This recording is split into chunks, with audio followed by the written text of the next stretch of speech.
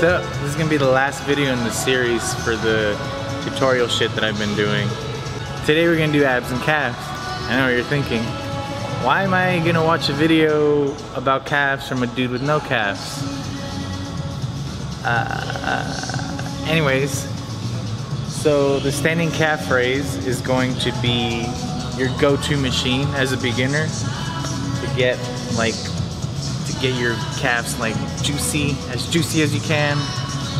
Um, and to demonstrate this exercise, my good, my good friend, Huckleberry Finn, will show you.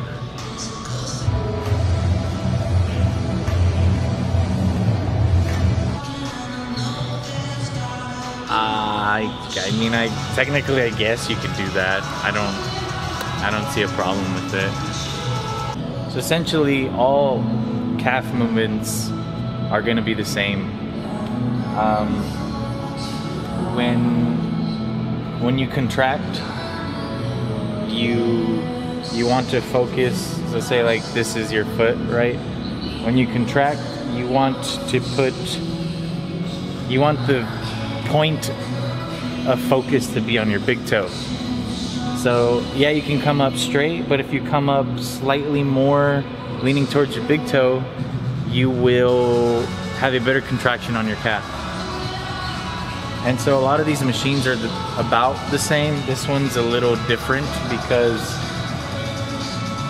like you, if you can, you want to do calves without your shoes on or like with a flat, flat shoe like Converse. Uh, this one fucking hurts on if you try that. This one's just weird. So I'll demonstrate the movement. Okay, so essentially you want this height to be at a point where at the bottom of the movement you still have space between the plates. That way you're still getting a stretch on your calves. Because if you don't have space on your plates and it looks like this at the bottom of the movement, uh,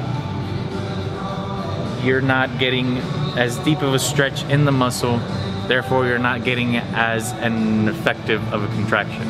So I'll show you. You see at the bottom of the movement, there's still a gap between the plates. there's still, so there's tension in my, there's tension in my uh, calves. So you see, I can, if I was going up straight, it would look like this. But since I'm going up with my big toe, it looks like this.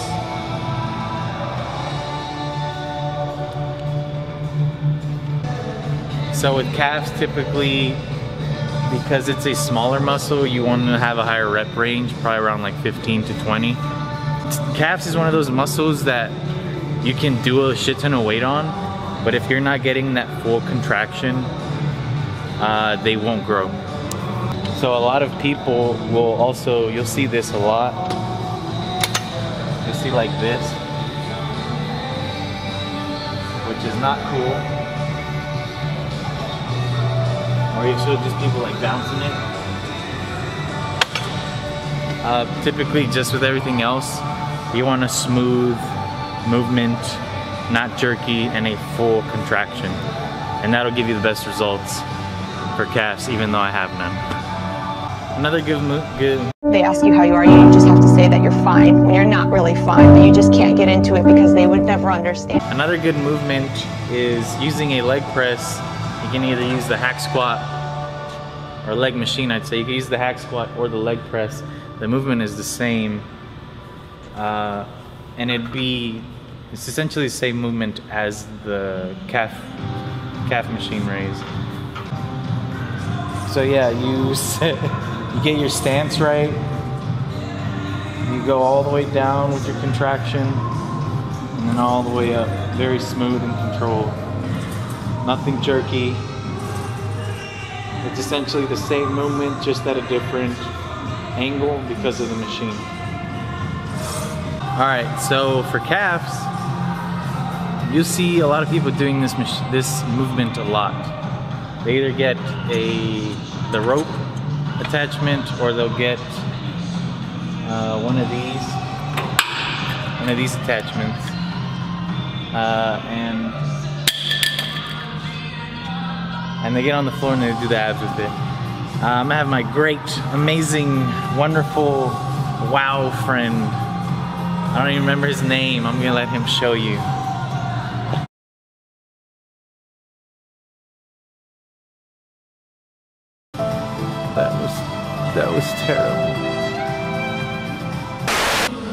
want to get a good moderate weight. You want to have your knees together here. You don't want to be too too spread out like this. Uh, you'll get a better contraction with your knees together. And a lot of people do this movement and don't feel it in their calves. I mean abs. Uh, that's because they are moving too fast and not focusing on the contraction. so at the top of the movement, up here, you want to make sure you are stretching out your, your abs here. So you're here, because if you're just like this, uh, you won't feel it. So make sure your abs are stretched out. And when you come down, uh, you want to try to touch the floor with your elbows. So like this. And you come back up, stretch out your abs, come back down, try to touch the floor same dealio. Uh, that's really the key into really feeling this movement and it's a really good movement. You can also use this movement for obliques. Difference is instead of coming straight down like this, you're coming to the side like this.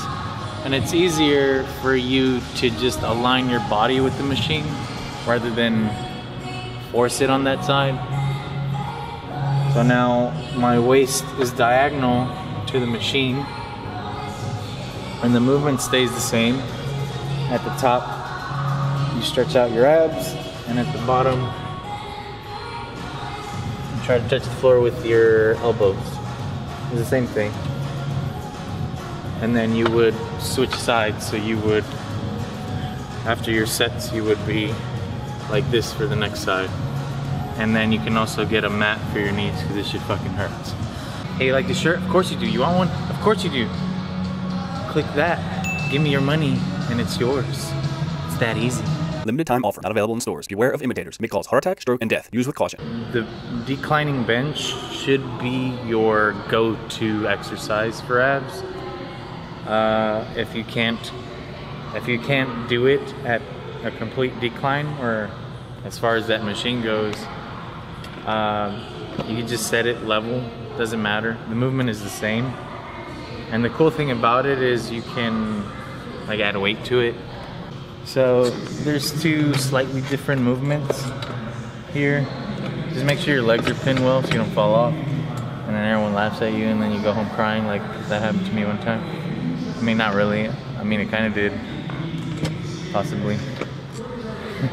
so you can have your arms here when you do the movement. So you can do this.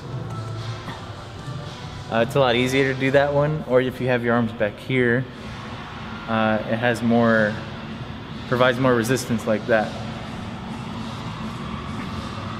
So this is easier, this is harder.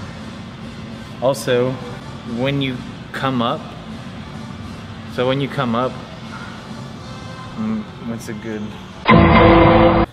so when you come up, you can keep your torso straight, so you come up like that, or you could kind of like bend in. Uh, they, if you keep your torso straight, you'll work more of your lower. So I'll show you. So you can do your movements like this, or like this. It's still your abs, just one focuses on your lower abs and the other one focuses on your upper. And also you can add weight to it, so you'll be at the bottom of the movement. You have your weight up.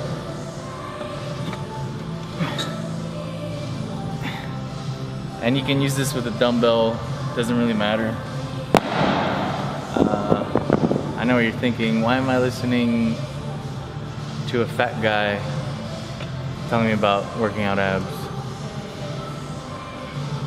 Uh, this machine will help you focus on your lower abs and there's two movements you can do here. You can you can keep your legs straight when you come up or you can bend them like this. Uh, bending is easier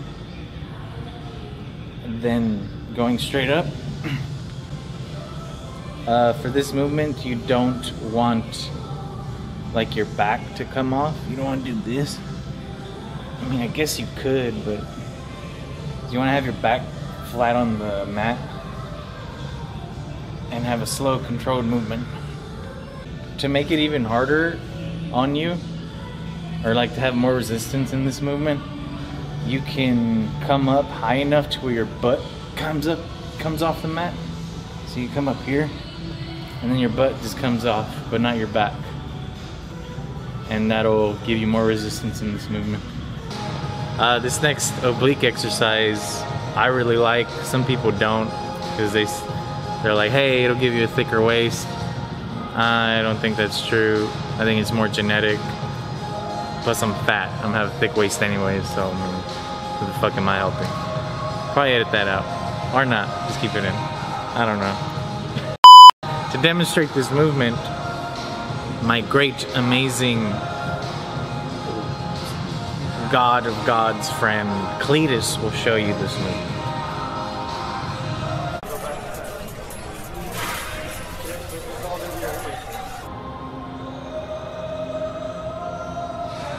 So you can do this with either a dumbbell or the cable here.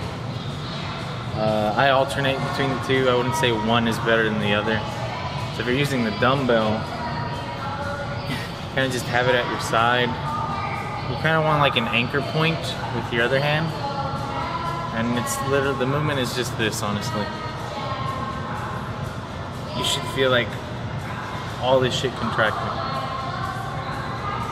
And so of course you would do, because it's abs, probably like 15 reps. And then you would alternate sides.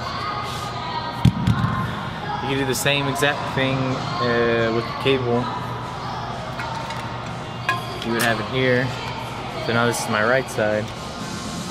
Uh, because you can't really do anything with this hand, I don't know what to do with my hands. Uh, you could just put your hand here. It'll give you actually better stability for this movement. And you just, you don't get too far from it because then the contraction just doesn't work well, you want to get a, uh, as close as you can to it to where it's not resting on the machine. So you're about at this range, and you just do that. Same movement.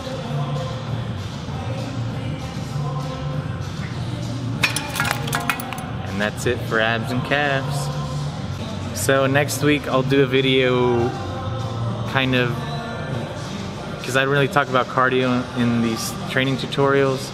I'll do a video about cardio and training frequency and should you do cardio before training or should you do the opposite and how often should you do cardio? Just like all these extra little things I didn't really cover in my training videos. After that, I'll do some nutrition stuff, again for beginners. After that, I went camping a long time ago. I did a camping video. It's pretty cool. Uh, I could have planned it a little better, but you know, I'm still learning the game.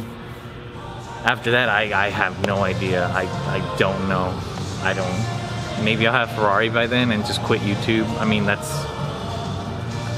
I think I think that should work out, right? I think so.